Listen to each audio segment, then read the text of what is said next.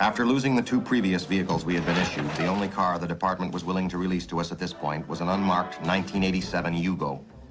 A Yugoslavian import donated to the department as a test vehicle by the government of that country and reflecting the cutting edge of Serbo-Croatian technology.